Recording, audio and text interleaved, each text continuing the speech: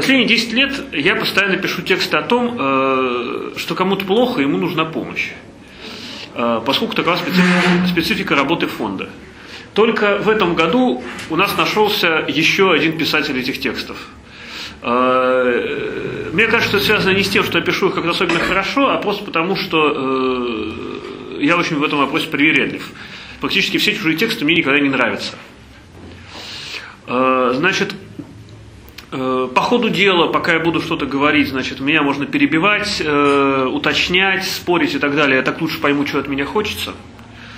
Значит, э, также э, я заранее извиняюсь, если то, что я буду говорить, покажется общеизвестным, банальным э, и, в общем, и не открывающим ничего нового, потому что мне кажется, что вот в этом вот навыке никакой особенной сложности нету в самом по себе написании текстов.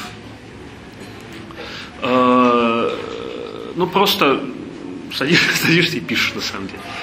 Вот. Э, также я должен сказать, что это занятие за 10 лет надоело мне хуже горькой редьки, потому что, значит, э, большинство подопечных фонда совершенно одинаковые между собой, но, во всяком случае, отличаются очень мало – Э, как правило, мы с ними не контактируем лично, поскольку на это у нас нет никаких сил и возможностей. Как правило, мы имеем просто э, историю, которую нам э, рассказывает мама, какое-то количество фотографий, какое-то количество медицинских документов, в хороших случаях некоторую видеозапись, вот, где есть этот человек, которому нужна помощь. Значит, кроме людей, мне случается писать также просьбы о помощи в довольно абстрактных вещах, и, э, в принципе, иногда они тоже оказываются достаточно хорошо работающими. А, также должен сказать, что э, сам по себе текст, как и фотографии, это только часть фандрайзингового успеха. А, есть другие э, составляющие вот этого успеха, которые тоже чрезвычайно важны. Грубо говоря, если вы напишете очень хороший текст, но не сможете сделать так, чтобы его прочитало достаточно много людей, у вас ничего не получится. Если вы напишете хороший текст, но ссылка от него будет вести на страницу, где э, неудобно делать пожертвования, э, или которая грузится через раз, или там другие технические проблемы, опять же, у вас ничего не получится. Э, ваша задача своим текстом возбудить сочувствие. Но если э, сочувствие будет у слишком малого количества людей, эффект будет слишком низкий. Если это сочувствие будет невозможно так э, или иначе реализовать, то опять же вы э, ничего не достигнете. Вот, поэтому то, о чем я буду э, рассказывать, это, в общем, только часть значит, задачи. Э, также я должен сказать, что я никогда э, не учился писать. Э, у меня в голове отсутствует стройная система знаний. Э, я по образованию учитель истории э, и систематически ничем, кроме руководства фондом, никогда толком, в общем, не занимался. Э, поэтому, опять же, говорить я буду немножко путанно и сбивчиво. И чем больше будет вопросов, тем больше вы узнаете. Итак, значит, первое –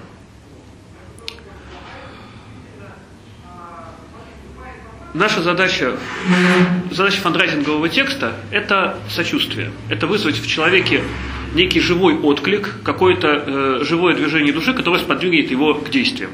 Причем к действиям, которые э, заставят его ощутить некоторый ущерб. ущерб. Пожертвование – это ущерб. Это то, что вы что-то тратите, чем-то жертвуете, у вас что-то становится меньше. Ну, как правило, денег. А, и даже если вы хотите просто не э, пожертвования, а перепоста, то это все равно некоторое действие, которое, значит, э, человек все равно задумывается, как оно, значит, отразится, на нем отразится. И э, на отношениях с аудиторией. И в любом случае вы что-то от человека хотите. И у этого действия должен быть, должно быть топливо. Должно быть э, некая причина это действие совершить. И чем более значимая эта причина, тем э, больше Э, тем, больше, тем на большее действие человек э, готов. Ну, в своем собственном мире, потому что э, у каждого человека цена действия, она может сильно отличаться.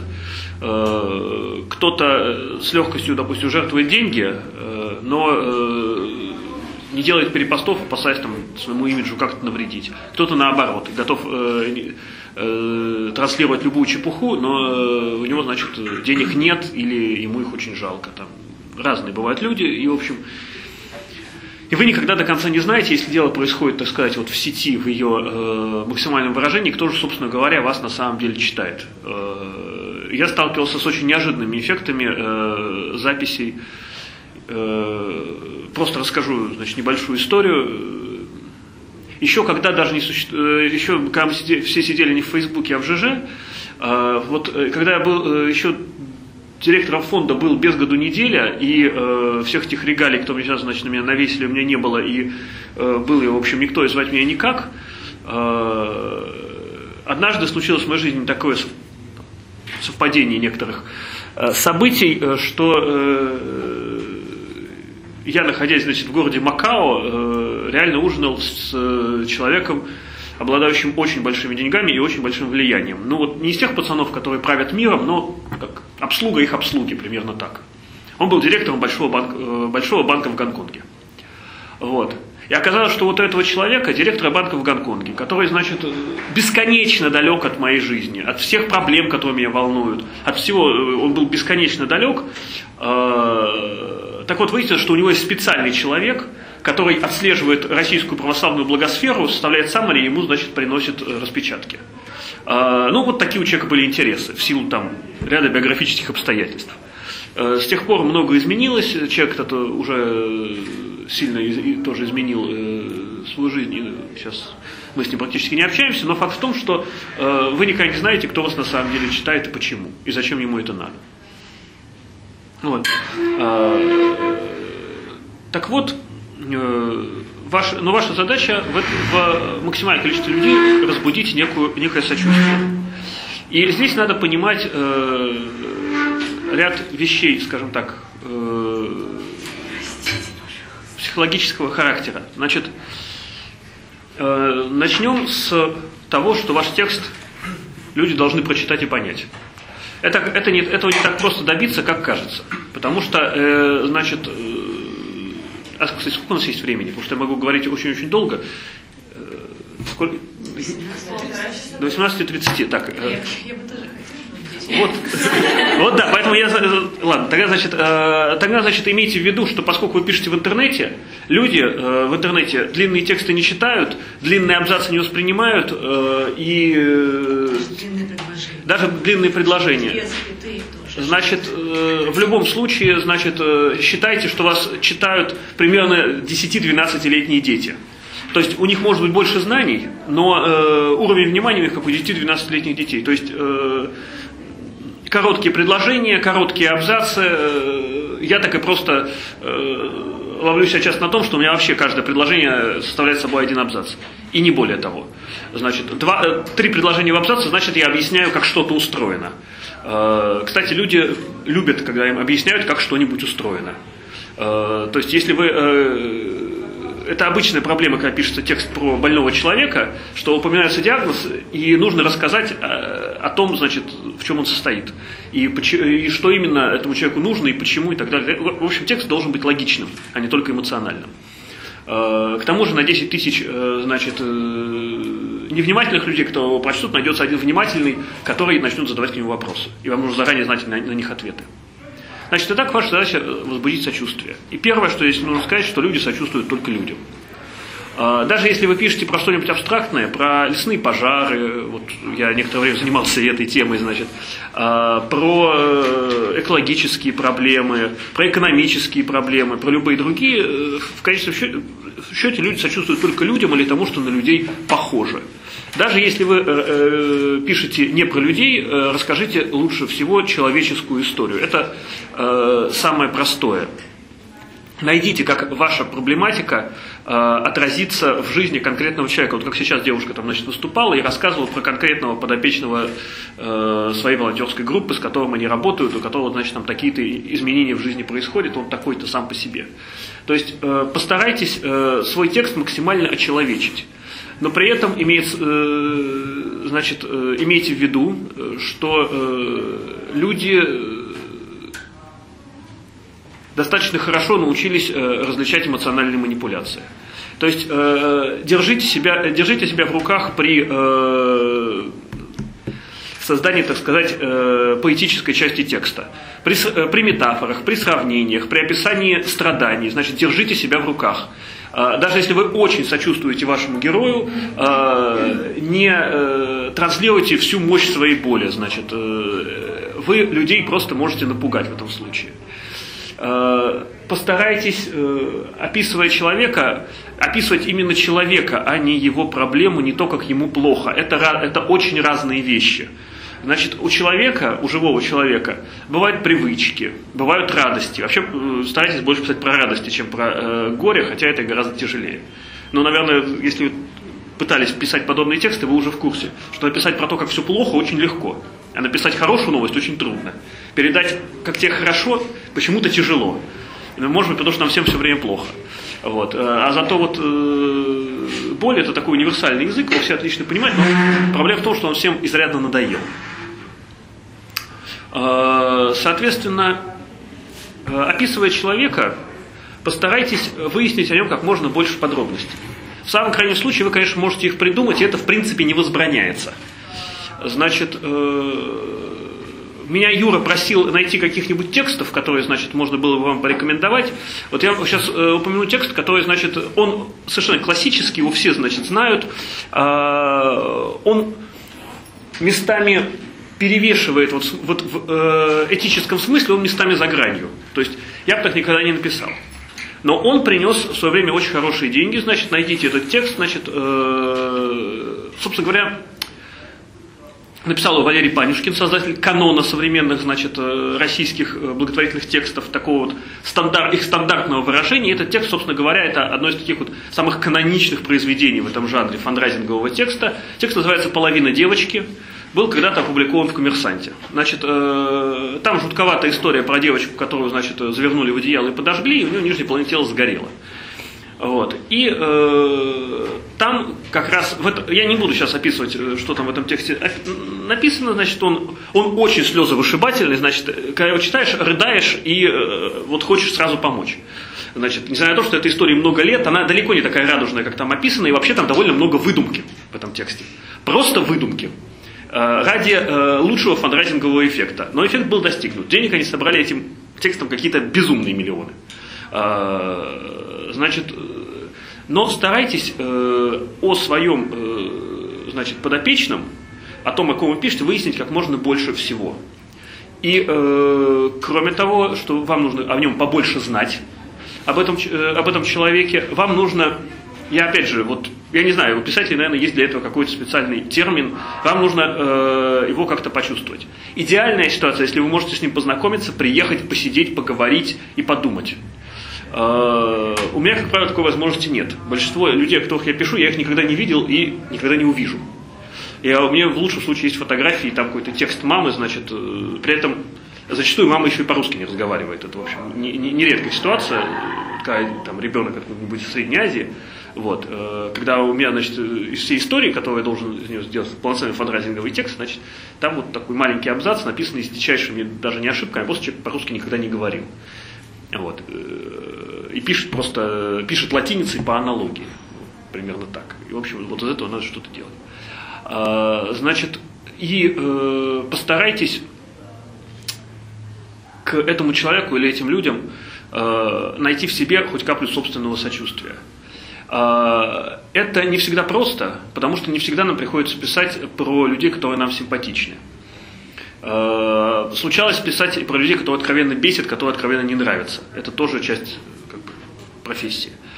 Э, но если э, живого отношения собственного нет, если оно целиком выдумано из головы, текст получится почти наверняка так себе. Почти наверняка он получится невысокого качества. Значит, при этом старайтесь не, не очень много писать в этом тексте о самом себе, о собственных переживаниях. Потому что, опять же, человека читателя вы лично, как личность, как правило, не очень интересуете. Вы должны принести ему э, эмоциональную картинку жизни другого человека, но не самого себя. Потому что он привык, что на него постоянно со всех сторон обрушиваются чужие эмоции, люди, которые рассказывают о себе.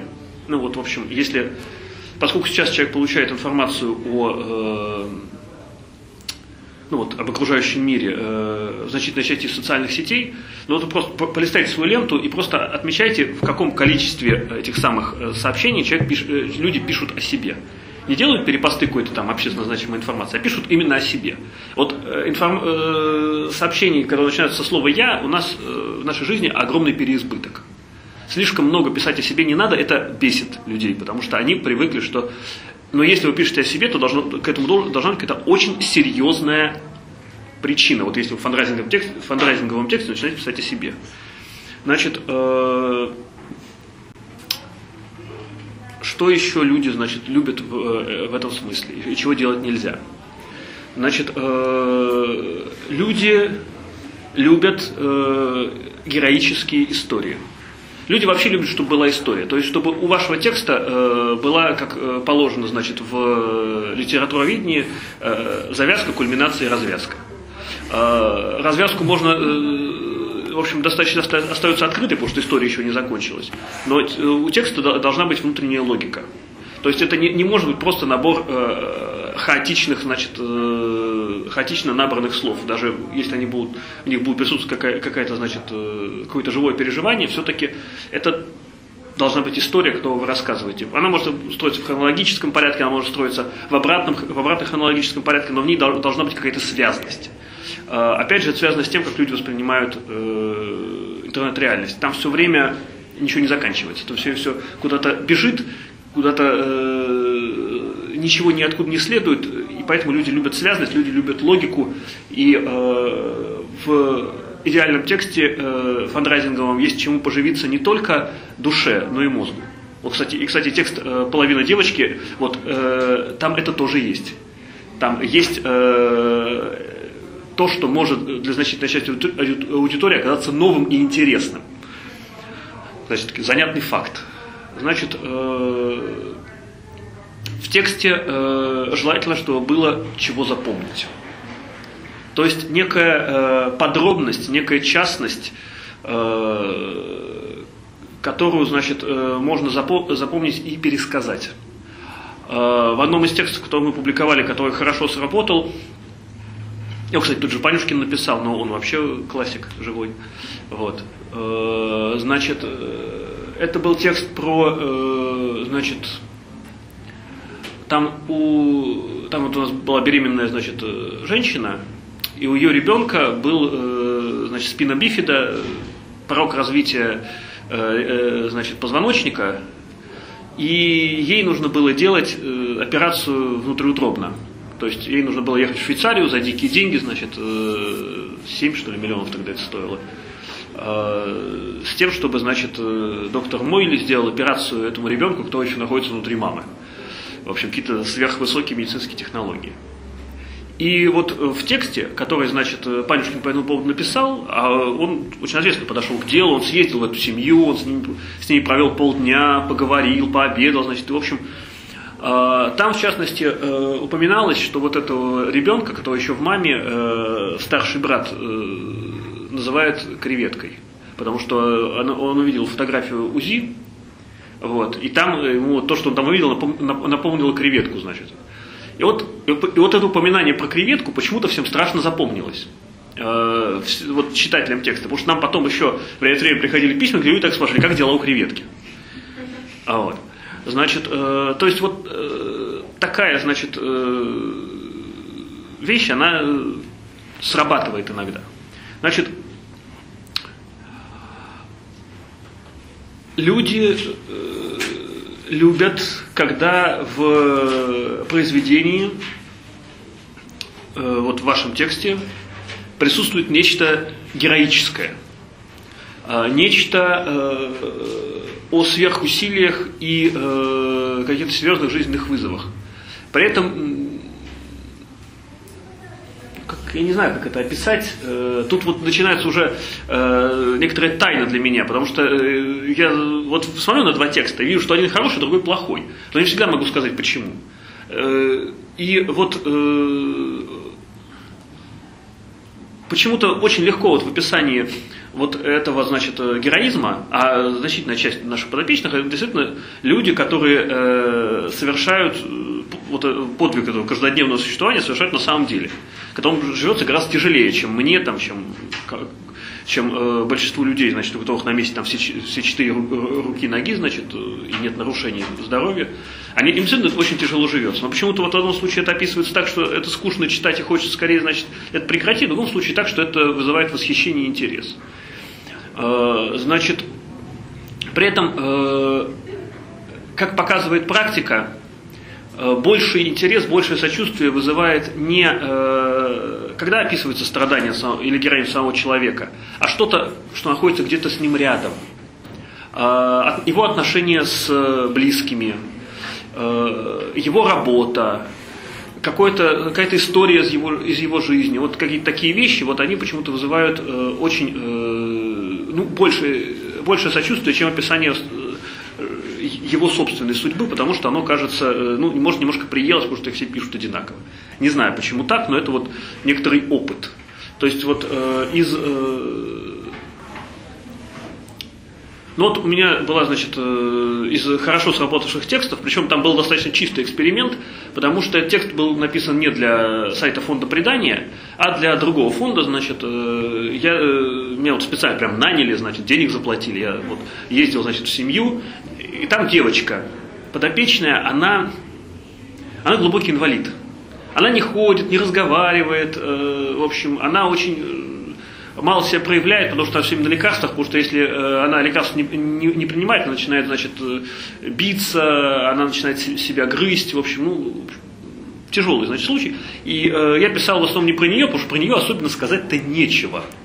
Э, ну, вот если я буду описывать просто ее жизнь, это будет какой-то, значит, э, натуральный ад, и э, вообще как-то, не то, чтобы непонятно, зачем человек живет, но э, действительно, это такое не очень счастливое существование.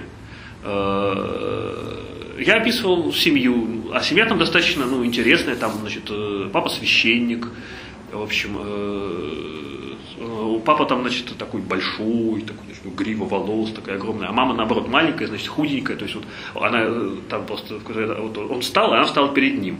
И вот было видно, что оно реально в три раза шире. То есть вот, вот еще можно две таких мамы рядом поставить, и вот она как раз будет примерно той же ширины. А, значит, э, и вот я, значит, в основном э, писал э, в основном про них, а не про девочку. В общем, и вот этот текст, он хорошо сработал, и было видно разница вот, как бы на этом, на этом же сайте, вот этот текст и другие. Вот этот текст работал лучше. Это было прям, прям заметно. Потому что на предание оно не всегда связано именно вот с тем, что текст хорошо написан. А, значит, что еще? Чего еще, например, делать нельзя? Значит, а, нельзя налагать на людей ответственность, на которую они не подписывались. Это неэтично. И это довольно быстро людям к тому же надоест. То есть писать людям, что они за что-то ответственны, потому что прочитали этот текст, нельзя.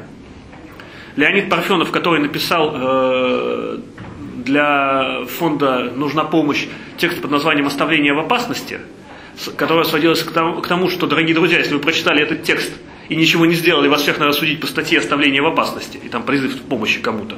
Это, вот это э, просто э, настолько отвратительный поступок, э, который прос, э, его можно простить только потому, что, видимо, Пар, Парфенов просто, ну, он другой профессии человек, он не знает, что так делать нельзя.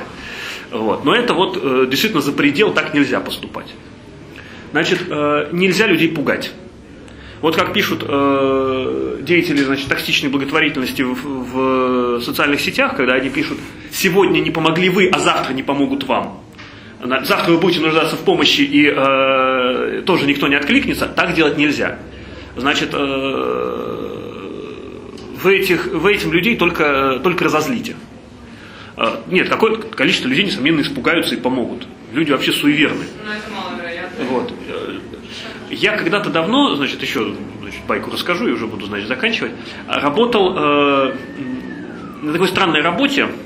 Я ездил как представитель страховой компании к людям, кто страховали машины, и они отдавали мне деньги, значит, и, и документы подписывали. Вот. Я, я деньги возил фактически, я был таким инкассатором. Мне доверили эту работу, потому что выглядел как человек, у которого точно нет никаких денег, которого никто не будет грабить. Вот. Значит, э, к тому же я очень быстро бегал. А, и вот однажды я приехал страховать какой-то страшно дорогой автомобиль. Страшно дорогой. А, то есть я помню, что его годовая страховка стоила 2 миллиона рублей. То есть э, я не знаю, что это было, э, была за машина, я ее не видел, собственно говоря, это в мои обязанности не входило. В мои обязанности входило, значит, подписать документы и забрать, забрать деньги, довести их по адресу. Вот. А, а владельцем этого автомобиля оказался какой-то э, совсем юный смазливый мальчик, в общем, который э, решил, пока там, значит, что-то какой-то процесс происходил, решил со мной пообщаться.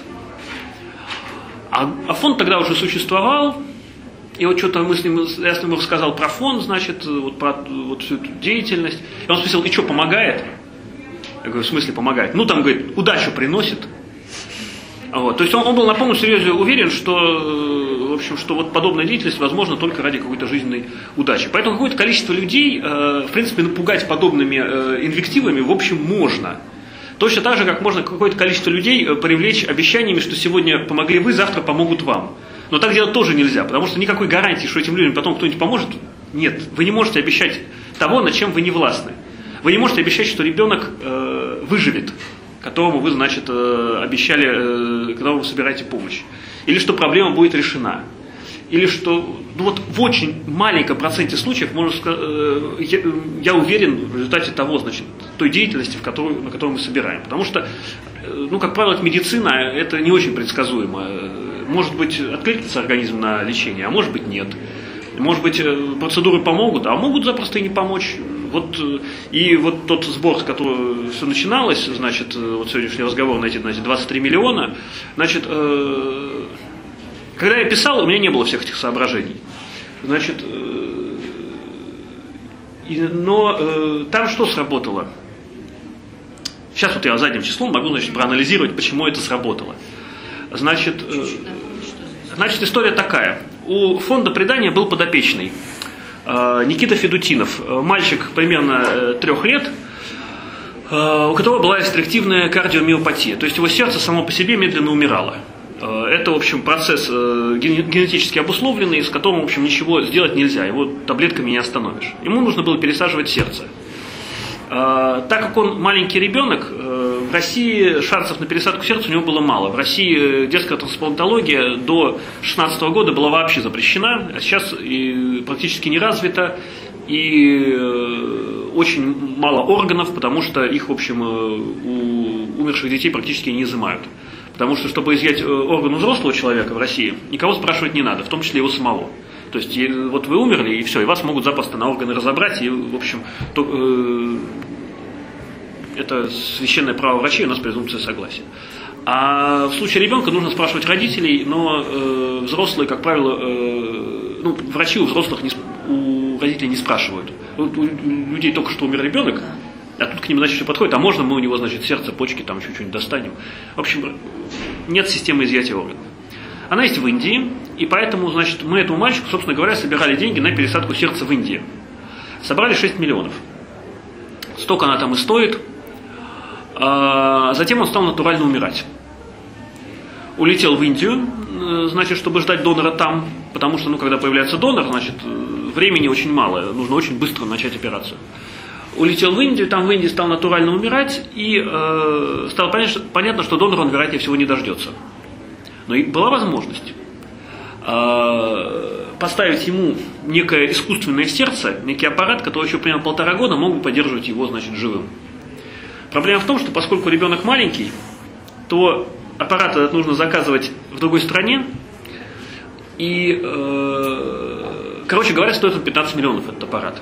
А дальше, если мы скажем, что окей, мы найдем эти деньги, заказывайте аппарат, э, мы в любом случае должны будем за, за него заплатить. Найдем мы деньги, не найдем мы эти деньги, там, выживет мальчик, умрет он, в любом случае мы окажемся должны вот эти, значит, 15 миллионов, а если все пойдет совсем хорошо, то 23 миллиона. Это, это аппарат плюс реанимация, значит, потому что каждый день в реанимации стоит довольно, довольно много денег. По-моему, там неделя 10 тысяч долларов. Такие там, в цены. Вот. Ну, соответственно, э, я не очень знаю, каким местом я думал, когда все это соглашался, но откуда-то, э, в общем, я понимал, что надо соглашаться, что вот мы ребенка этого, значит, бросать э, не будем. Этого самого, значит, Никиту Федутинова. Вот. И тогда, собственно говоря, когда мы все это начали, я написал текст.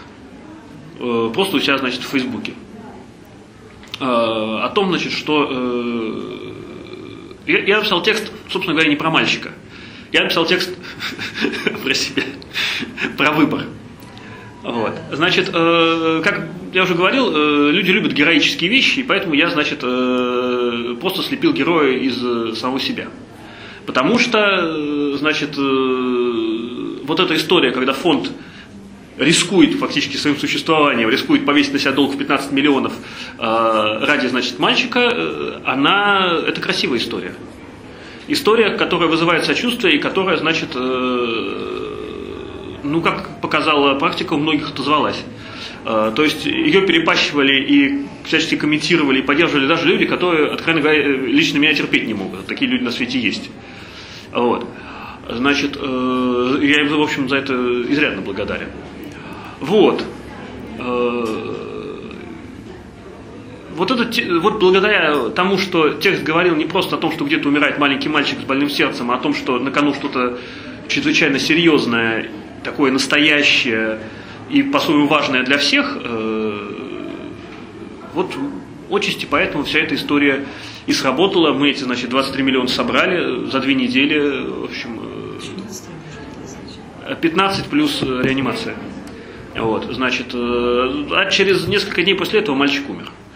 Вот, то есть мы успели поставить это самое искусственное сердце, а затем просто организм не выдержал. Ну, просто он, он долго ждал, значит, и, в общем, случилось то, что случилось. Вот. На, на эти деньги мы в итоге, значит, купили какие-то, значит, какую-то медицинскую технику в Самарский кардиоцентр, оплатили несколько, значит, операций другим детям, и сейчас еще какое-то количество денег осталось, и мы, в общем, до Нового года обещали все потратить. Вот. В общем, э, ну, Ты не живешь, Э, никто, никто не попросил деньги обратно, хотя мы предлагали. Но это, это, это, часть профессиональной этики. Если деньги не пригодились тому подопечному, которого жертвовали, надо хотя бы предложить забрать их обратно. Значит, э, ну, кстати, очень редко вообще забирают. То есть, э, вот, еще одну вещь скажу. Значит, э, что касается логики. Если если в вашей просьбе есть логика, то она работает гораздо лучше, чем если в ней есть одни только голые эмоции. А, Еще был один сбор, не на такую безумную сумму, но который хорошо и быстро сработал.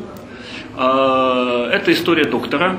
Э, на взрослых вообще собирать труднее, чем на детей. Это история доктора, которого зовут э, Игорь Ворошка.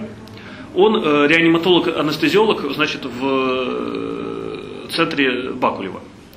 Значит, с ним история была такая, что он вообще с больным сердцем, сердцем ему оперировали много раз, и э, когда у него очередной раз какой-то искусственный клапан, значит, э, прохудился и перестал работать, ему нужно было ставить новый. Но делать полостную операцию, разрезать, значит, ему грудную клетку было нельзя, потому что у него, значит, ее уже много раз резали, и это было слишком опасно. Ему, значит, нужно было делать операцию, э, значит, делая маленькие отверстия, через них там как-то по, по, по венам как-то добираясь до этого, значит, клапана, и вот его там как-то заменяя таким значит, эндоваскулярным методом. Что значит слово эндоваскулярно, я не знаю, хотя периодически использую. А, в общем, и вот о нем писать было легко и просто. Потому что здесь, э, как вы думаете, какой месседж был в, в, в этом, значит, сообщении, в, в этом тексте? Ну, очень очевидный. Этот доктор на работе ежедневно спасает людей. Те, давайте люди соберутся и спасут доктора. Вот. Э, это значит, ну как это, это была история, причем в том же тексте я эту историю рассказывал. Значит, про знаменитого революционного юриста, адвоката, э, который, значит, э, работал, выступал в качестве адвоката у старенького священника. Выяснилось, что священник, значит, пропил больничную кассу. Не больничную, храмовую кассу пропил. И вот его судили, этого священника, а адвокат сказал, я скажу одну фразу, его оправдают. Ну, хорошо, значит, с кем-то поспорил с коллегой, вышел и заговорит. «Э, уважаемые присяжные, этот человек, сидящий перед вами, 40 э, лет на исповеди отпускал ваши грехи. Отпустите ему его единственный грех. Э, вот. И священника оправдали. Вот. Значит, ну, вот, ну, в этом просто, просто была логика. Логика, она работает как очень мощный такой вот э, приводной ремень для эмоций.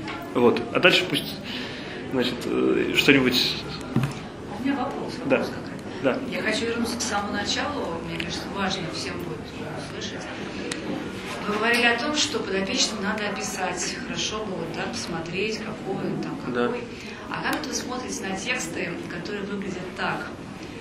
А, ее сухонькая лапка опирается на мою руку, и я вижу, как шаркающие ножонки и сутуленная спиночка. Ну вот, э, как бы здесь слишком много уменьшительно-ласкательных суффиксов. Хорошо, спина там, да, ручка, Значит, это вот. И... Если, опять же, такой текст, его написать очень просто. Вот если просто описать, что было, в этого, в принципе, ничего сложного нет.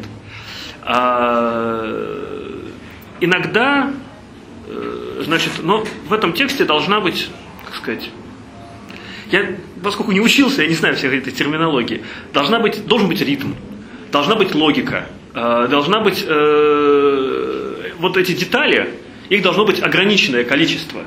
Потому что вот одна из причин, почему я не люблю вот современную социальную журналистику, которая вся строится на таких текстах, значит, э, включенности журналистов в процесс, значит, связано с тем, что они зачем-то льют в эти тексты неимоверное количество бессмысленных подробностей, неимоверное количество воды. Э, у меня иногда ощущение, что там, я не знаю, ладно, не буду называть, но что некоторым авторам тупо платят за строчки, э, потому что очень много лишнего. Вот, э, э, ну, я думал, что от этого все уже ушли, потому что это как-то, это разорительно для редакции. Я хотела сказать, что у меня в таких случаях ощущение, что меня позвали в зоопарк, вот посмотрите, какое убогое существо, а я вот с ним рядом стою, и вот дайте мне денег, смотрите, ну, э... где граница вот этого а, манипуляции вот этой чужой убогости и и, все, и вызывание разумной я, я не знаю, как это, как это делается. Значит, я когда-то, значит, э, что я делал? Я писал текст, и прежде чем его опубликовать, значит, э, ну, от, э, в это самое отправить на сайт, чтобы его, значит, там опубликовали э, сами, значит, э, знаете, что такое бабушка-тест, да? Когда это, это, этим занимаются программисты, когда делают интерфейсы для сайтов или там приложений. Они показывают их с престарелым значит, э, гражданам, э, и если те разобрались, значит точно подходит, потому что значит достаточно просто для всех. Э, вот у меня, значит, есть несколько людей, которые, во-первых, такие тексты много раз читали. Вот у нас есть Маша, которая, значит, занимается у нас документами. Она все эти, все эти тексты проходят через ее руки. Она их читает все, потому что у нее такая работа. Вот. И она э, очень э, устала от них. И она хорошо понимает, когда ей пытаются э, какую-то лажу показать. Значит, у меня есть знакомый, который, значит, много лет профессионально торговал наркотиками. Это был его заработок. Это, он абсолютно циничный человек. И если вот, опять же, в тексте есть какая-то, значит, ну, грубо говоря, эмоциональная такая разводка излишняя, то он это просто сразу поймет. Потому что это, опять же, было его профессией. От э, умения считывать чужие эмоции зависело его выживание.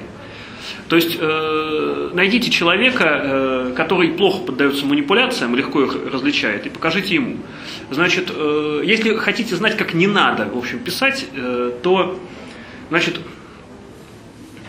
и вообще, э, как, как не надо делать, э, значит, есть, э, значит, это знаю, сообщество ВКонтакте «Благотворительность на костях», которая занимается тем, что препарирует э, вот эту самую токсичную благотворительность. То есть это несколько женщин во главе с, э, со Светланой Машистовой. Вот, значит, значит Машистова очень странный человек, очень специфический, неплохой и не злой по-своему, но она сделала своим хобби глубинное копание в дерьме. То есть она занимается тем, что отыскивает вот эти токсичные сборы, Э, на что-нибудь, что не поможет, что вредно, э, что излишне, и разбирает, почему так делать не надо. Я была жертвой. Вот, ну, страшный человек по-своему. Я собиралась всего лишь 1030 на онкологию, но на онкологию у наркоманки. И вот онкология была Это Крис? Кристина, да.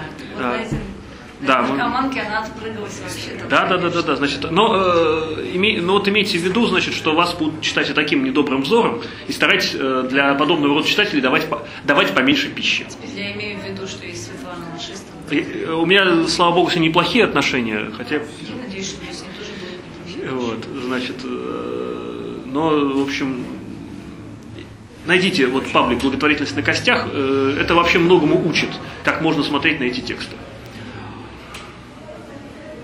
Я не знаю, где находится э, это, э, эта самая грань. Э, в общем, поэтому это как-то нужно внутри себя, что ли, почу- почувствовать.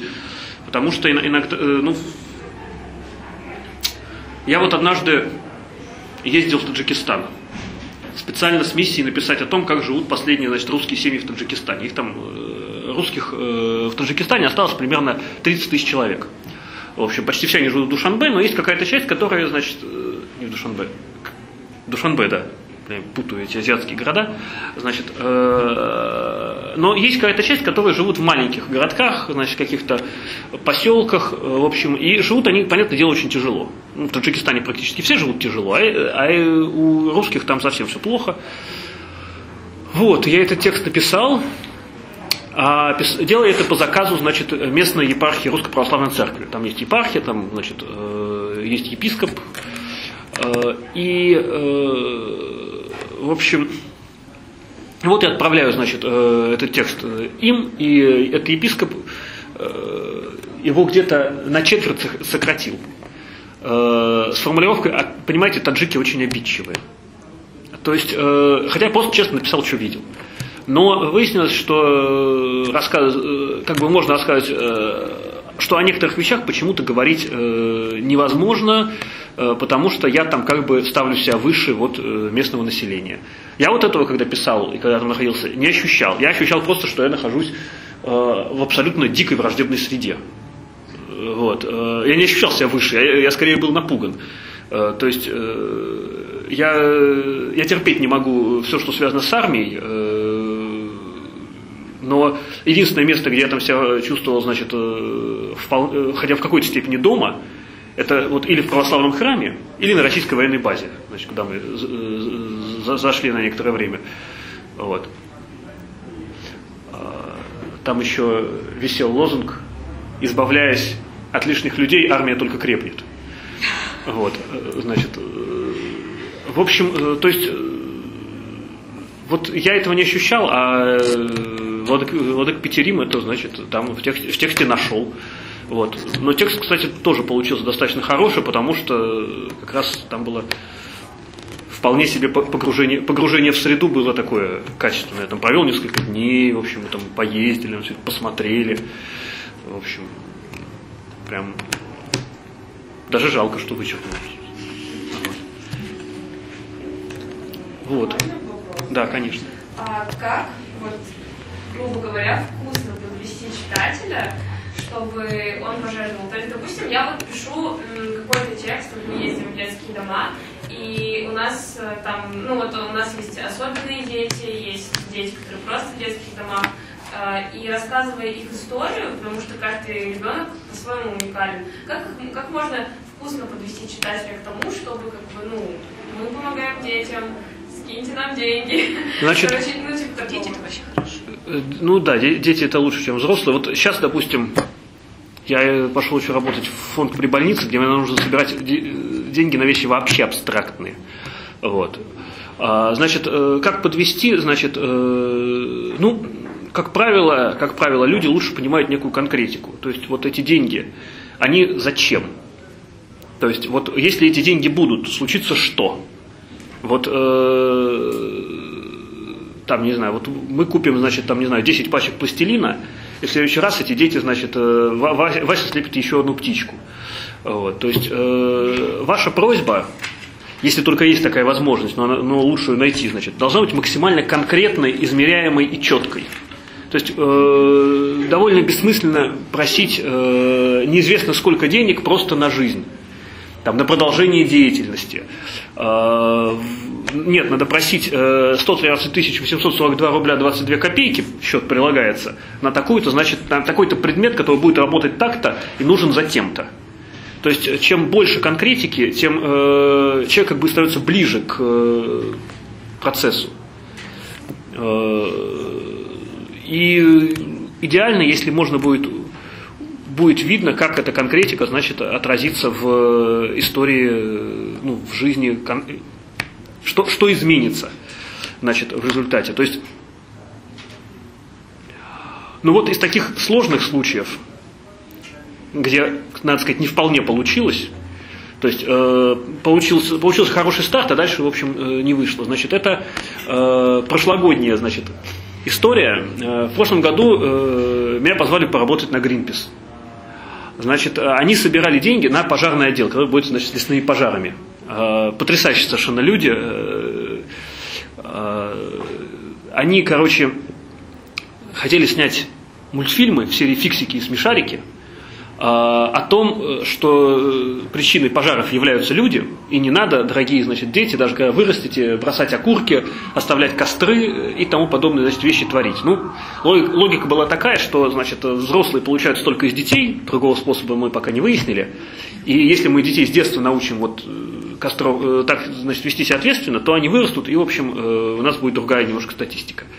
И нужно было собрать денег на съемки мультфильмов. Вообще говоря, это адски дорого, съемки мультфильмов. Значит, э, аниматор э, фиксиков, день его работы дает 2 секунды экранного времени. 2 секунды. В общем, э, то есть это все адски дорого. Значит, и, и понятное дело, что вот всю эту логику в тексте раскрыть еще как-то возможно, но посочувствовать тут особенно нечему. И вот из того, что сработало, как оказалось, очень хорошо, очень хорошо сработали спутниковые карты. Существует сайт fires.ru, значит, это интерактивная карта термоточек, то есть мест, где горит. Спутник, оказывается, их достаточно легко регистрировать просто по разнице температур. И, значит, создает такой Google Maps с точками возгорания. Они не очень, не очень точные, по ним не, очень, не всегда возможно ориентироваться, но вот для маркетингового эффекта они вполне годятся. И вот, вот эта карта этих горящих, значит, э, горящих лесов, при этом э, там все было очень э, четко. Значит, вот это Россия, вот, вот здесь граница, ну, на этой карте это физическая карта, там граница не обозначена, но я ее нарисовал. Значит, вот это Россия, и тут все нафиг горит. А вот это Польша, Финляндия, Германия, и там не горит. Да, и, и, а вот, здесь посередине, значит, между Польшей и Германией Калининград, и там тоже все горит.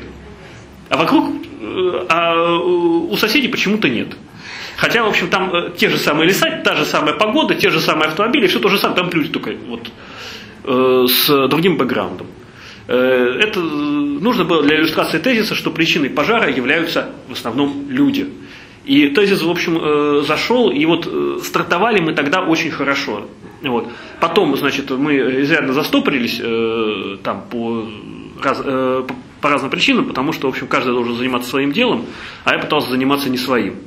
Вот. Я э, попытался из мира текстов выйти в реальный мир, значит, и пытаться, значит, э, в частности, заниматься, ну, это был сбор на планете Ру, там были сувениры, и выяснилось, что когда э, мне предлагается взаимодействие с реальным миром, я впадаю в ступор. То есть, когда там нужно было решить, там какой-то плащик сделать желтый или красный, я, значит, две недели молчал, потому что я не мог понять, что ответить. Ну, вот. В общем, ну вот, в общем, там это было сложно. В общем, вот. Но э, стартовали мы хорошо, и вот это, этот э, заход сработал. Вот. Какие еще? Можно? Да. А, что бы вы посоветовали а, нам? У нас просто очень нестандартная... У нас не дети, у нас максимум это подростки, а, в основном, а вообще у нас есть специфика национальная, у нас еврейская как бы, направленность. И чаще всего у нас еврейский благотворительный фонд, мы помогаем еврейским детям еврейским старушкам. И как бы взрослых вообще не жалко, а еврейских совсем не жалко. Ну, во-первых... Э... Куда уйти так, чтобы э, не, не быть... Э, не скатываться вот в эти вот, а вот Холокост, а вот Гитлер, вот в вообще не вступать. Что вы посоветуете? А вы к кому обращаетесь при этом? Э, просто тут, поскольку это национальная диаспора, то э, я сильно подозреваю, что обращение к диаспоре и обращение к людям вне диаспоры должно быть достаточно разным. А, во-вторых, э, где-то примерно раз в год а, в нашей практике возникает какая-нибудь значит, еврейская организация или еврейский значит, э, обеспеченный человек и спрашивает, нет ли э, евреев среди наших подопечных. Потому что он срочно хочет помочь кому-нибудь, а никого нет. Вот, значит, в общем, Тоже Хотус, кстати. Э, В общем, э, ну, есть эффективные диаспоры, есть неэффективные. Скажем, вот э, таджикская диаспора, к ней обращаться бессмысленно. Значит, э, По таджиков же. По поводу таджиков же, э, значит, абсолютно бессмысленно. Это э, у них не- нет диаспоры фактически. Так, Я, я именно конкретно по стилевому, по какому-то вот именно в текстовом выражении, как говорит, он замалчивает вообще, говорит, что ну вот ребенок из необеспеченной семьи, дайте денег на зимнюю одежду. если вы обращаетесь э, к людям вне диаспоры, Да, нет. то э, в, в России я бы, в общем, э, лиш, лишний раз не стал бы говорить о том, что это еврейский ребенок, потому что, значит, э, то, что в ответ могут сказать, э, сказать «Об- обратитесь в консульство Израиля, это запросто. Происходит. Э, Значит, да, ну, я, я- бы вот, конечно, пер- в основном молчал бы об этом при обращении вовне. Значит, и говорил бы просто так же, как про любых других малообеспеченных людей, у которых э, проблемы, у которых, значит, у меня ощущение, что значительную часть, э, вообще говоря, публики в России, э, любые вообще упоминания национальности, только, любой национальности, кстати, только раздражают. Э, Просто потому, что в России этот вопрос, он болезненный, в силу, так сказать, того, что, ну, как, в России так долго и усердно, значит, вда- вдалбливают людям, что у нас многонациональный народ на Российской Федерации, что любые упоминания этой тематики, они, в общем, запускают э, у каждого человека в голове такую длинную цепочку реакций ассоциаций, что э, неизвестно, куда она приведет. Э, В общем, из национальных э, тематик в России любят экзотику, кста- кстати сказать. То есть, если вот у вас чернокожий ребенок, то, в общем, всегда можно найти того, кто ему посочувствует. Потому что он странненький такой, необычный, как же его бедного, значит, занесло на чужбину-то так далеко. А, Или если, э, или вот, допустим, у нас был мальчик без имени, например, однажды. Когда у него, его мама родила, оставила в детдоме и ушла. Вот, у него сердце было больное, у него даже имени не было. Вот это тоже была интересная такая подробность. А, В общем, то есть но про национальность, э, если это не, не является мотиватором для аудитории, то про национальность, наверное, лучше помолчать. Благо вы не обязаны упоминать фамилию совершенно. Вот. Или, в общем, или ее можно поменять, значит. Вот. э, Но вообще э, неожиданно, что, что и, значит, я, я слышал только о э, фондах вот, еврейской направленности, которые занимались фандрайзингом, но не занимались этим в Израиле. Вот. И- и- не можем заниматься прямым фандрайзингом, мы можем через... Как у нас есть моменты, которые позволяют нам это делать, чтобы не оставлять. Ну, смотрите, е- еврейская организация, это все как-то, как-то вот так. Вот. Вот. Спасибо. Да. Мне, мне кажется, что было бы классно придумывать, не просто писать какие-то, простите, просто мысли вслух. Мне просто кажется, было бы интересно писать какие-то, ну, если вот вы как бы сказали, что лучше не упоминать национальность, потому что, ну, с одной стороны, я согласна, потому что сейчас, пока ты не спросишь у человека какой-то национальности, ты будешь неспокойно общаться. А потом, о, ты что, не русская? Ну, Что-то типа такого. И мне кажется, что сейчас очень многие люди ам, фанатеют от культур. То есть какие-то межкультурные мероприятия, все очень, всем это очень нравится. И мне кажется, что, ну, если честно, я люблю евреев. Они очень классные, потому что я сама отчасти еврей. Вот, Мы просто- поговорим. Суть, да, просто суть в том, то, что а, мне, мне было бы прикольно, интересно читать именно какие-то культурные, э, культурные особенности, допустим, данного народа, ну, если это если без упоминания. И мне кажется, если, э, допустим, сфоткать ребенка или заснять какое-то короткое видео в национальном, типа как костюме или что-то типа такого, мне кажется, что было бы классно, э, не знаю, ну, все- дети всех умиляют. А когда дети в национальных костюмах что-то говорят миленькое, это вообще Да, отвал да. Поют Шма Исраэль, да. Да, поэтому это как одно из простите. Не, ну тема на самом деле модная. Я тут, э, значит, э, пытался попасть э, на флаконе на праздник Иврита, так там какая-то очередь. Там очередь была гигантская, да. Я, я, я уж не знаю, то, то ли, значит, это самое... Как Евре... Это, как там это... Да. еврейская жена это не супруга, а средство передвижения, что-нибудь такое, вот, ну, не знаю. Ну, реально, те- тема явно в моде. Вот.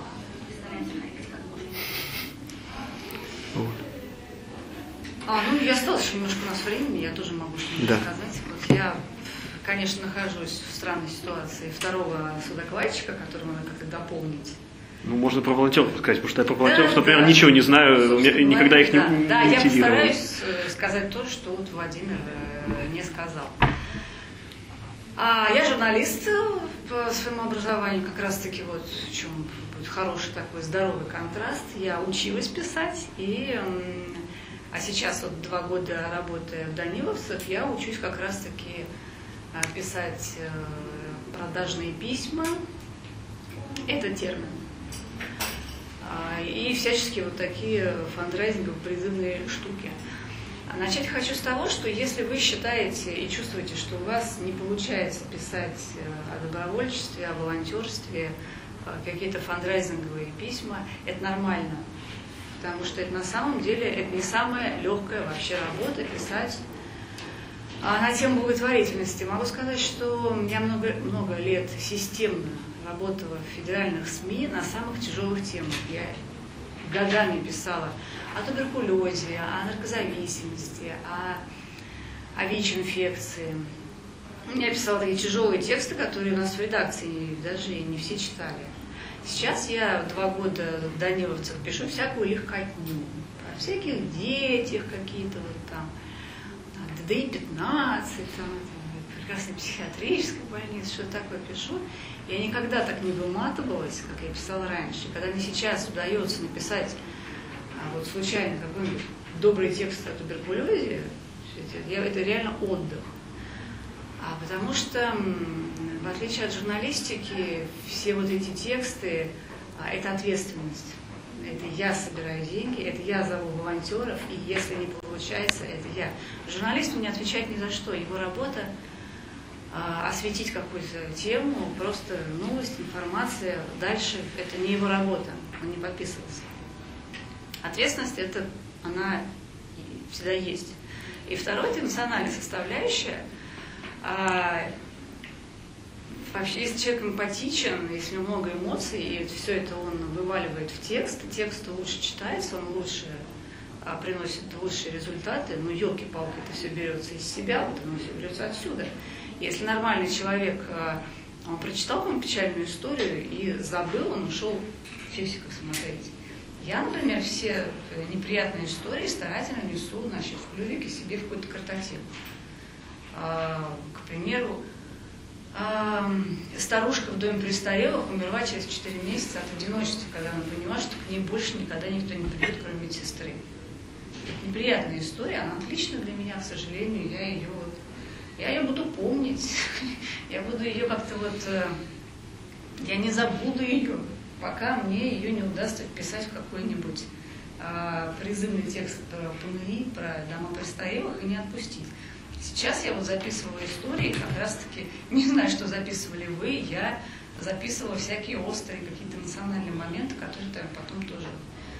Вот, так что э, писать фандрайзинговые волонтерские тексты нелегко, и если вы беретесь э, этим заниматься, плюс 100 к карме, ну, вы можете, конечно, выгореть достаточно легко.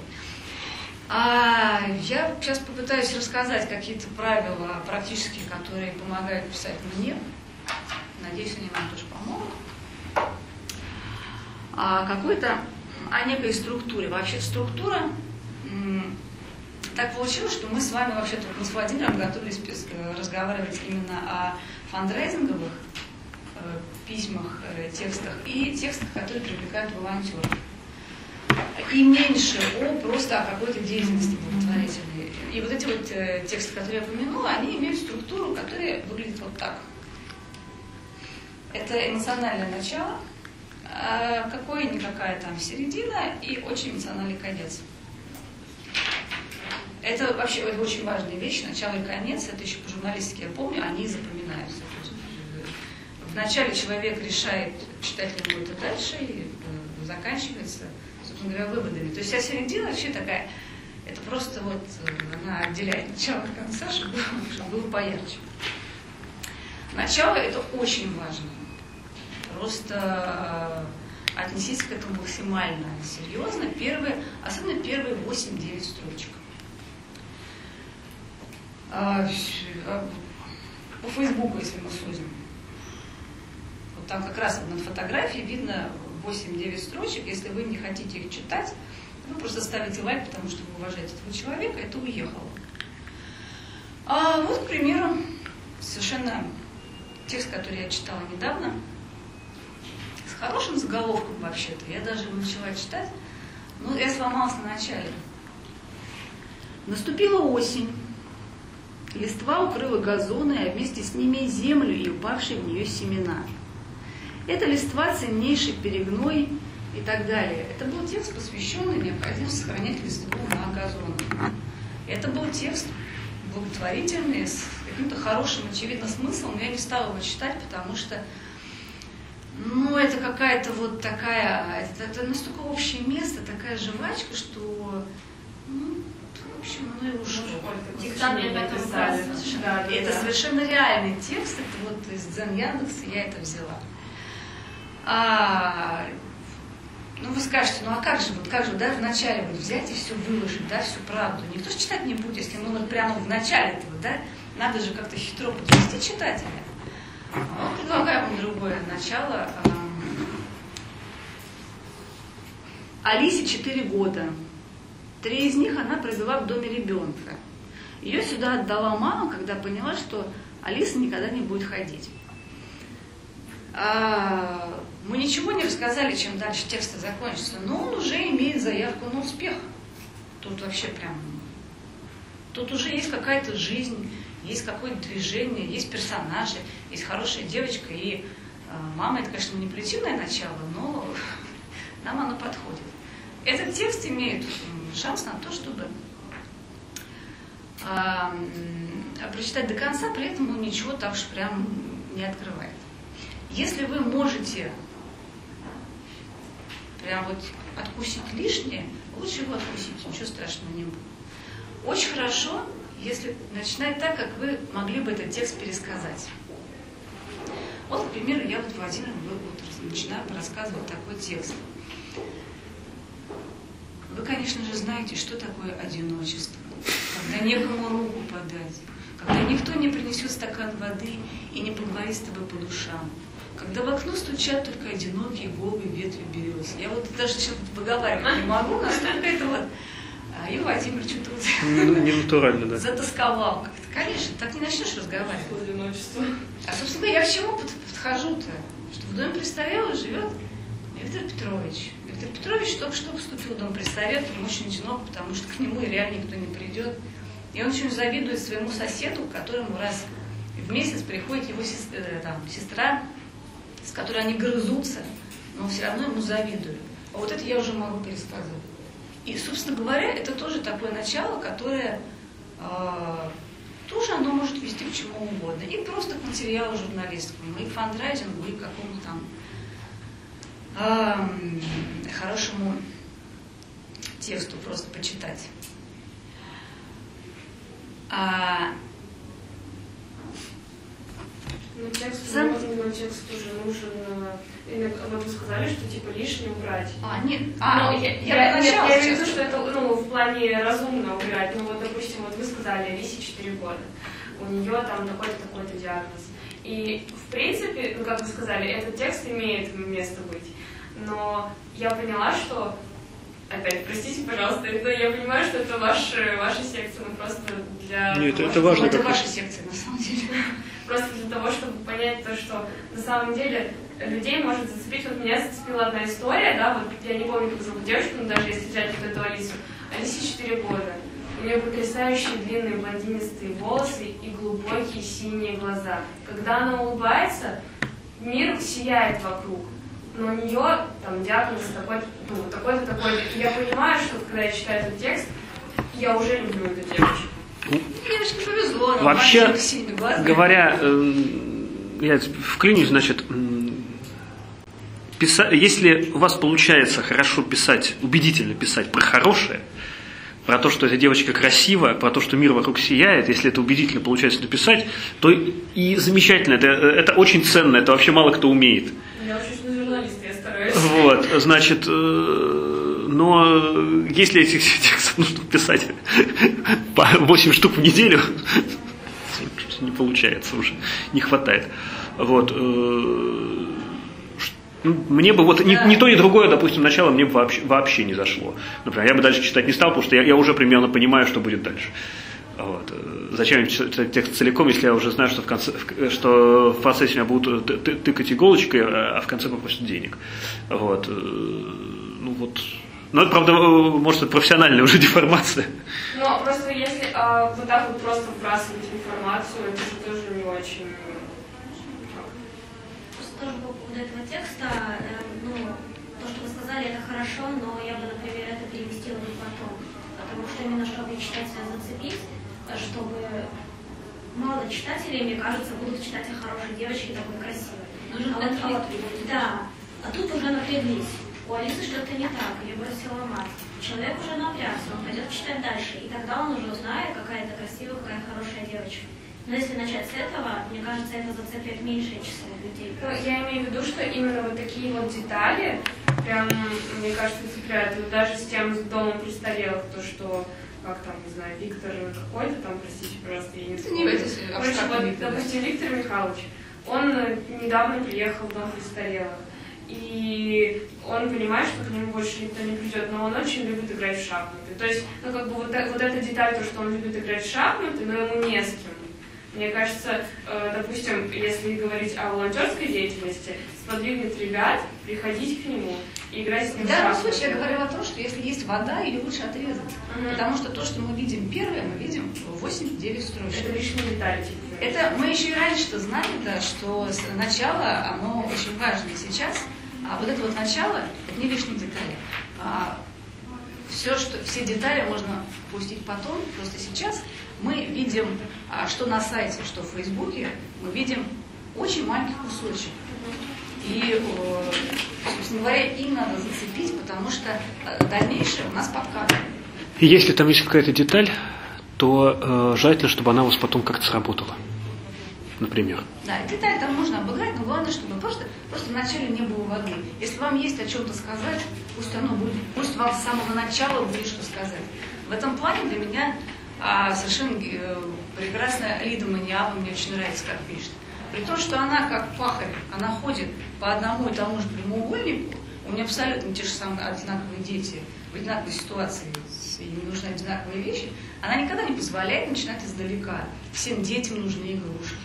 Все знают, как плохо умирать в больнице. Она почему-то как-то сразу вот хоба, и всегда ее интересно читать, хотя она пишет, в принципе, всегда об одних и тех же детях.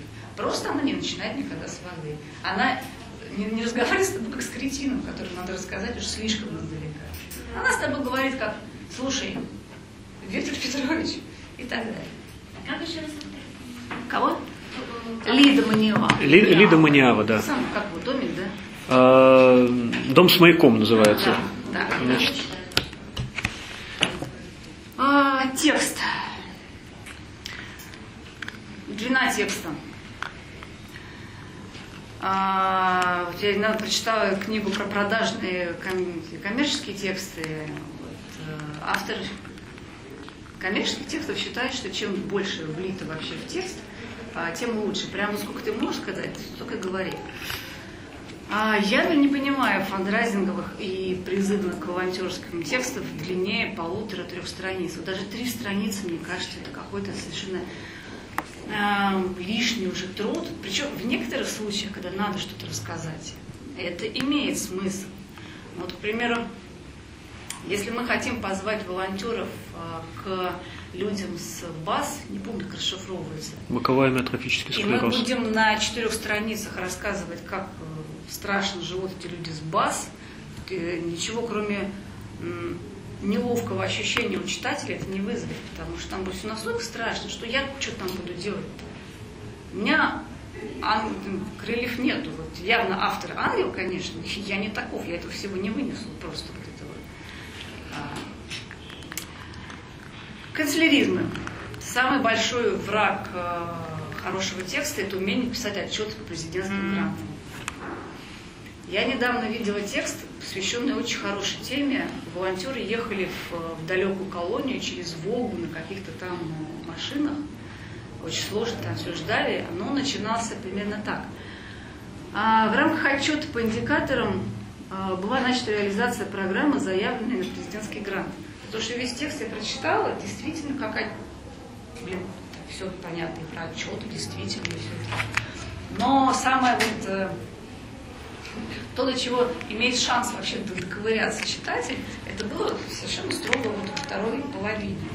Э, если у вас вообще в тексте появились слова типа мероприятие, осуществить, реализация. реализация, да, это лучше убрать. И вот действительно наш читатель, ему э, хорошо, если ему 12 лет, найдите себе ребенка 12-13 лет, дайте ему свой текст, и если у него вот такое появится выражение лица, это значит, что-то у вас пошло не так. А, и это надо вырезать, и не считайте, что у нас какие-то там дурачки читатели.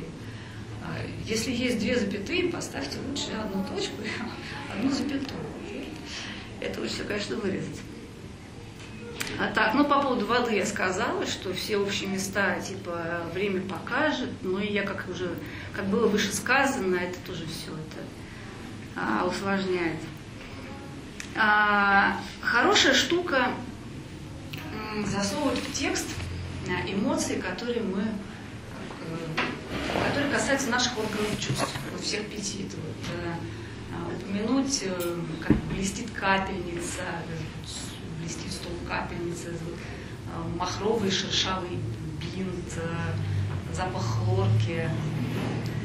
А, это прям как-то сразу запускает нужные нам ассоциации, один запах хлорки, упомянутый в коридоре, он запускает нужные ассоциации э, несчастливость, э, беда, одиночество, больно, вот это все срабатывает. А, это не всегда, к сожалению, удается вставить, потому что я, например, у меня, у меня текст действительно на потоке. Я вот не могу э, про каждое учреждение вставить какие-то эмоции. Тем более, что иногда мы этих эмоций просто не знаем. Если я не была в этом учреждении, мне очень сложно сказать, чем там пахнет и что там блестит. Я очень давно не была в подростковой колонии, вот сложно, конечно, что-нибудь сказать.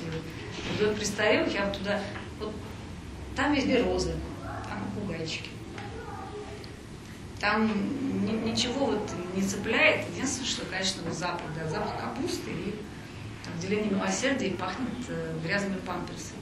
Неописуемый запах, конечно. Который в тексте не передашь вообще, потому что он запускает не те ассоциации. Поэтому, если получится вставить э, текст, будет такой достаточно нарядный. Единственное, что, конечно, есть опасность уйти в такую смесь Пришвина и Достоевского, вот, э, тревожный блеск стекла на асфальте, Господь ним не надо, это вообще вот да, эти хлоркой пахнет, сосульки блестят, снег хрустит. А вот один то, что снег хрустит, это уже хорошо, если мы пишем прологи.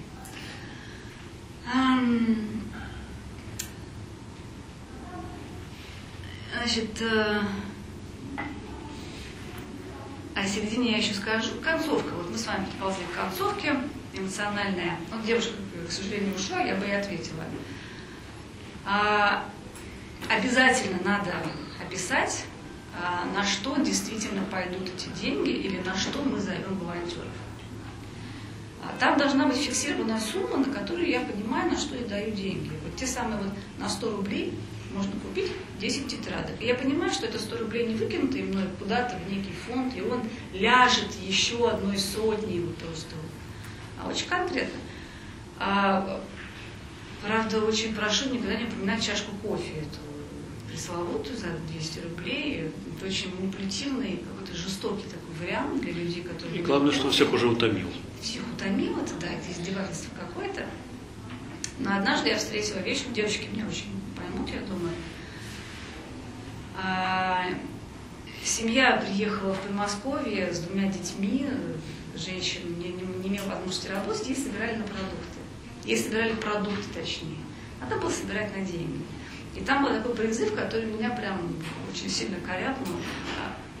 600 рублей стоимость маникюра. Мы можем купить на 600 рублей, и дальше шел, шел бесконечное перечисление продуктов из магнита. Я подумала, что действительно, 600 рублей это паршивый маникюр. Это очень плохой маникюр. Такой, ну да, сама там обгрызу, ну, блин, на 600 рублей она столько купит. А у меня, мне, к сожалению, не дали развернуться в этом направлении. Очень здорово собирать на а, бездомных, кормление. Потому что на 100 рублей выяснилось, можно купить курицу, а там еще картошки, морковки. Я посмотрела, сколько стоят носки, сколько стоят бритвы одноразовые, шампуни. И вы просите нас пожертвовать 100 рублей, человек чувствует себя просто Господом каким-то. Просто вот на парнише 100 рублей ни в чем себе не отказывает. Человеку реально приятно, он курицу только что пожертвовал голодным людям.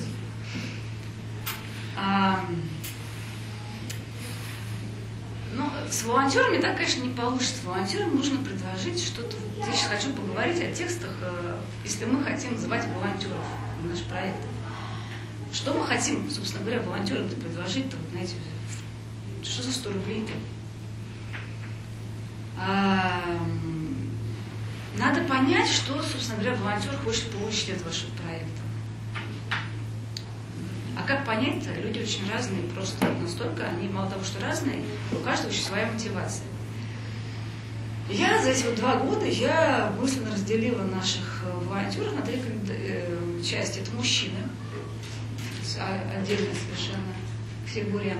Это студентки веселые, и не студентки, женщины, которые слишком много в этой жизни понимают. Как правило, они хотят от волонтерства похожих вещей. К примеру, мужчины хотят полезности. Они хотят, чтобы они пришли и все работало. Они пришли, состоялся футбольный матч. Я пришел сегодня, ребята подтягивались пять раз, на следующий раз я пришел, они же подтягиваются 10 раз. Или они научились собирать электрическую схему. А веселые студентки, они хотят, чтобы дети улыбались. Вот прям, чтобы вся больница хохотала.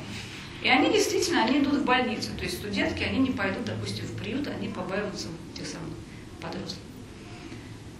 А, и вот э, и есть люди, которые, в общем, понимают, что мир устроен как-то не так, что это все катится к дьяволу в лапы, и надо что-то менять. Это вот третья категория, они у нас идут в, во всякие трудные места, в те же самые ДДИ. И всем этим людям я пытаюсь вот в этой концовке дать свое. А если это мужчина, я использую совершенно такие нехорошие сексистские приемы. Да, да, твое плечо, твой мужской разговор. Если я зову в колонию, я говорю, ребят, эти парни в колонии, мальчики, эти вот 14-летние, они оказались там потому, что рядом не было значимого парня ты же значимый парень, приходи, тебе там цены не будет в колонии, тебя будут смотреть, тебя будут слушать. Или, допустим, в 15-м ДДИ страшно тяжелые коляски, аж 15 килограммов. Там наши девчонки не справляются, они катают и, конечно, там катают, но ты придешь, и там все закатается с какой-то волшебной скоростью. А если это м- девушки, студентки, то есть я понимаю, что нам в больницах всегда нужны волонтеры именно играть с детьми, действительно, вот пластилин, вот это. Я так описываю, что вот больница, тот самый запах хлорки, те самые... Я, к счастью, лежала в больницах, к счастью, говорю, потому что у меня хороший опыт. К счастью, я лежала в онкологии, к счастью, у меня есть подопечная в этом самом в доме престарелых, я много лежала в больнице, хотя все опыт, который очень полезен вообще. Все, все в топку идет. А, и, в общем, эта студентка, она получит то, что ребенок действительно на два часа забудет свое заболевание. А если это какие-то у нас а,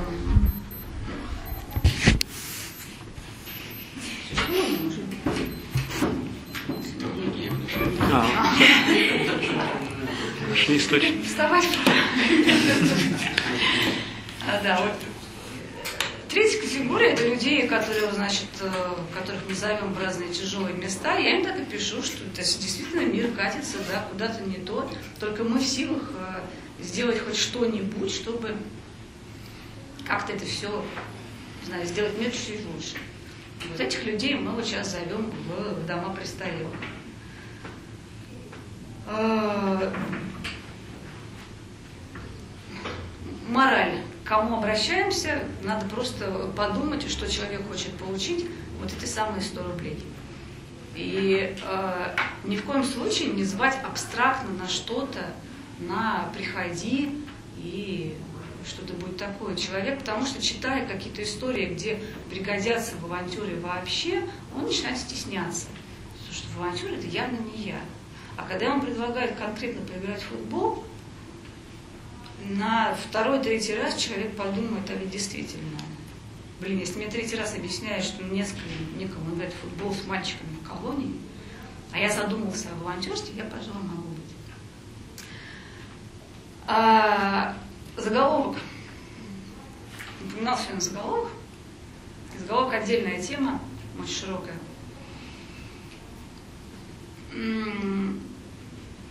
Как ни странно, самые вообще заголовок, он во многом побуждает текст прочитать. Несмотря на то, что мы часто ставим в соцсеть, там заголовок не нужен, но очень часто он помогает вытащить какую-то основную мысль.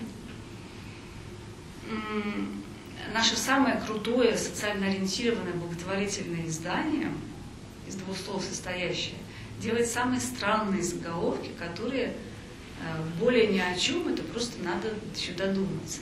Недавно был текст в сети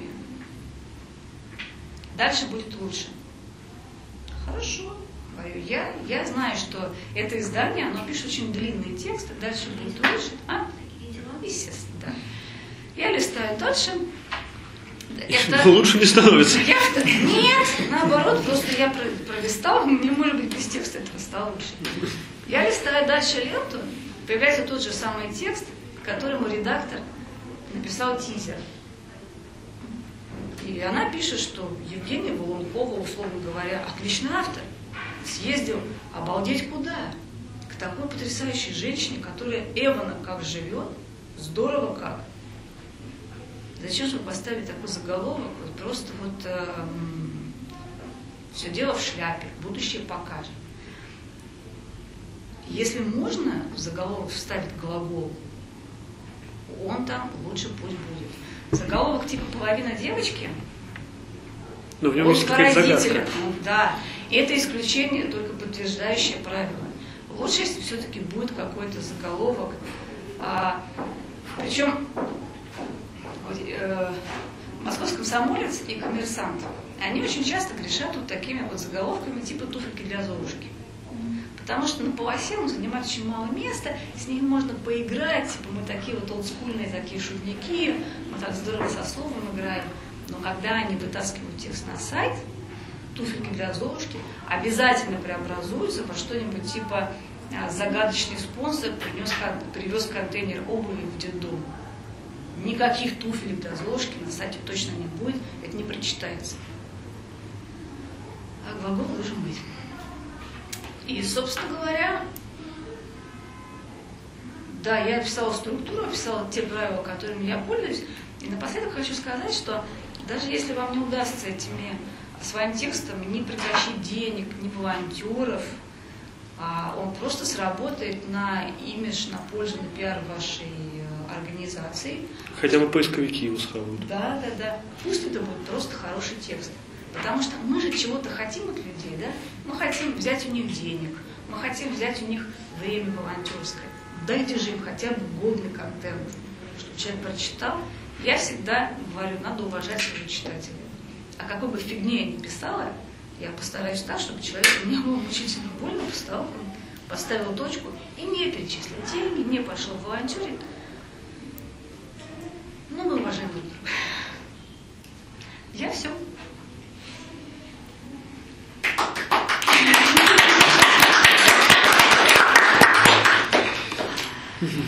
Надеюсь, мы помогли хоть что-нибудь? Да, да. да. Ну, Виолетта, ну скажи что-нибудь. Что сказать? Ну, ну, Нет, что тебе пригодится на будущее? Пригодится, наверное, то, что нужно углубляться вот в эти вот описания. Не нужно? Не нужно. Я все-таки этим грешу в своих текстах. Я показываю вот эту вот э, ущербность иногда слишком много.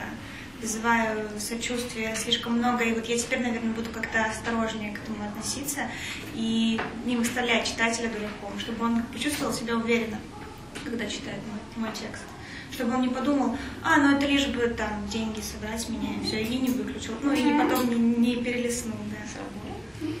Ну, принесли пользу. Надеюсь. На, на самом деле, мне кажется, что это, ну как, просто нужно сидеть и писать, писать, писать, писать, писать.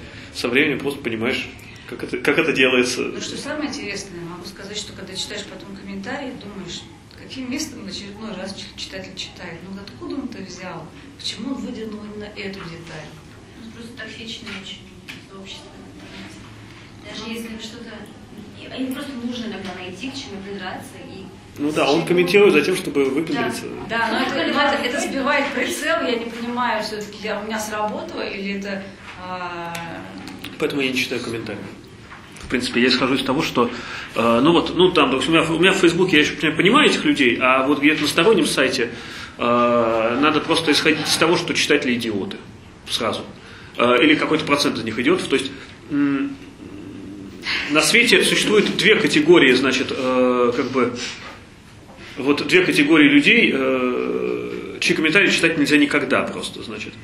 Э, первый – это комментаторы на «Эхе Москвы». Значит, если ваш, ваш текст опубликован там и появились какие-то комментарии, то лезть не надо. Потому что там э, гарантированно будет э, такая дистиллированная шизофрения просто вот налита до краев. Особенно, если они начинают спорить между собой. Вот. И это православные комментаторы. Вот, поскольку это та аудитория, для которой в значительной степени работаю, на кто ориентирован фонд предания, то, то тоже, значит, это э, просто вот люди, живущие в особом мире, совершенно с другими законами, чем, значит, и э, в этот мир, если вы как бы не знаете, как он устроен, лучше не ходить. Вот. Потому что вы просто не поймете, только поругаетесь. Никакого, никакого смысла в этом не будет. Меня дико сбивают две реакции, когда пишешь какую-то историю, разжевываешь ее, и реакция «валить надо». Или второе, ну а что вы хотели, выбрали Путина? Ну, ты думаешь, ну, чего? А, нет, это не троллинг. Нет, нет.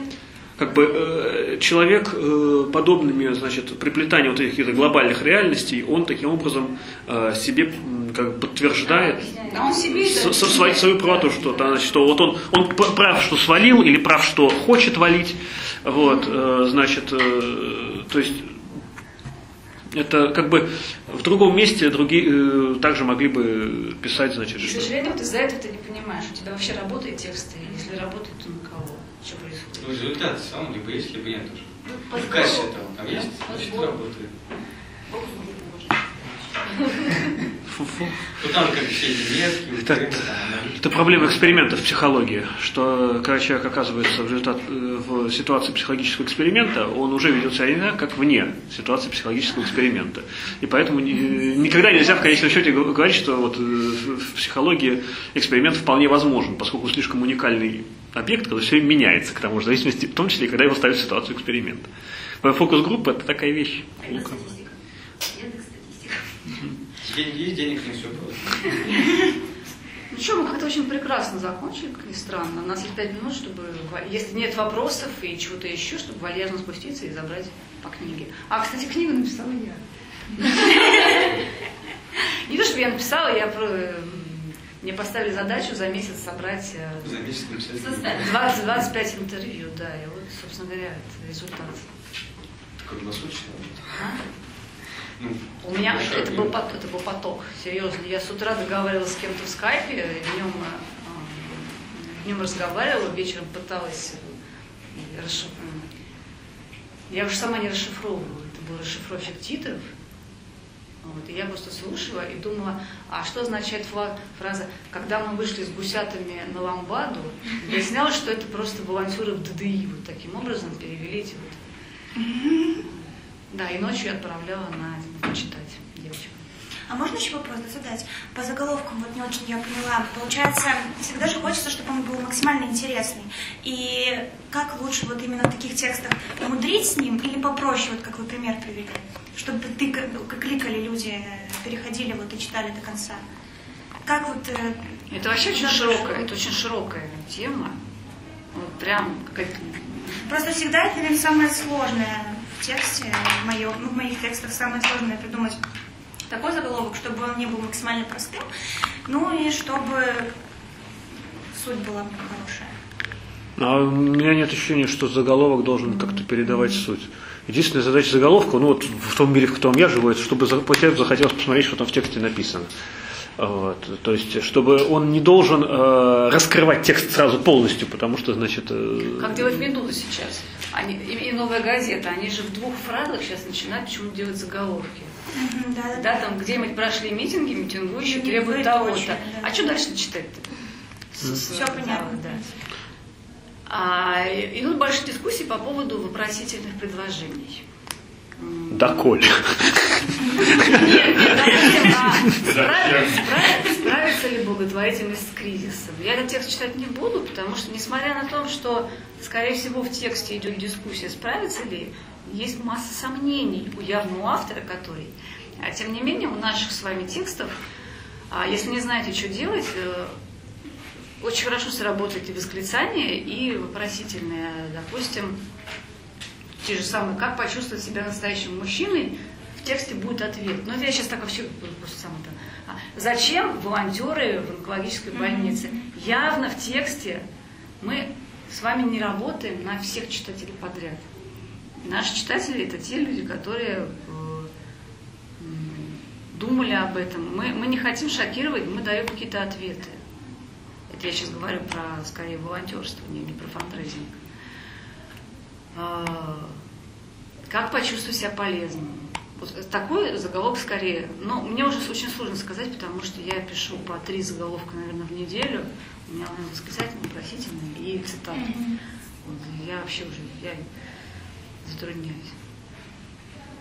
Спасибо большое. Ну, все-таки предложением лучше, наверное, да. Я кроме тех самых, кроме фандрайзинговых текстов пишу либо какие-то профессиональные такие тексты, которые, значит, будет читать узкая профессиональная тусовка, значит, а за пределами ее они все равно никому ни, ни зачем не нужны там. Комментарии к поправкам закона благотворительности, кроме, значит, коллег, читать равно никто не будет. А, и я еще пишу проповеди. В общем, такая часть вот моей работы, что я пишу проповеди. И вот с проповедями довольно э, заметно, что от них люди хотят э, практики. То есть, э, но при этом нельзя, чтобы эта практика была вот э, в тупую написана, значит, в заголовке. Вот, э, как не впасть в отчаяние, это плохой заголовок. Вот. А, допустим, э, вот нас предупреждали, что все это кончится. Вот это хороший заголовок. А можно ли в пост веселиться? Вот, э, ну, лу- лучше, чем как не впасть в отчаяние, потому что как не впасть в отчаяние, это отдает таким, значит, тут деш- Ну, мне дешевой кажется, рекламой Мне такой, кажется, значит. можно ли в пост веселиться, я прям точно знаю, что мне дадут ответ в этом, в этом тексте. Вот, ну, Надежда такая, может быть. Да, да, да, а вдруг в пост все-таки можно веселиться? Что можно, мне кажется. Можно, более того, Писание прямо пред- предписывает, что если ты хочешь поститься, то умой лицо свое и вообще явись э, перед людьми радующимся, а пост твой – это твое личное с Богом дело, и Бог, твой видящий тайное, воздаст тебе явно. Вот. Интересно. Извините. Это когда-то я мог бы даже назвать э, книгу, главу и стих, но сейчас уже не могу, уже несколько утратил, все сложно. несколько утратил квалификацию. Все, спасибо, что Спасибо.